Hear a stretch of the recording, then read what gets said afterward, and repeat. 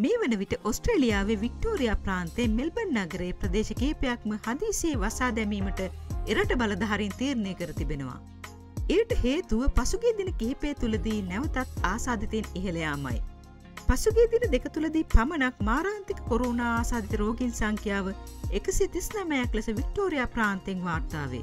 මේ සම්බන්ධයෙන් ඔස්ට්‍රේලියයානු බලධාරින් අධනිවේදනය කර සිටියේ උද්ගත වී ඇති තත්ත්වය හේතුවෙන් ප්‍රධාන තැපැල්කේ අඩංගු ප්‍රදේශ දහයක තදාසන්න ප්‍රදේශ තිස්හයක් සති හතරක කාලයක් වසා දැමීමට වික්ටෝරයා බලධාරින් තීරණය කර ඇති බවයි.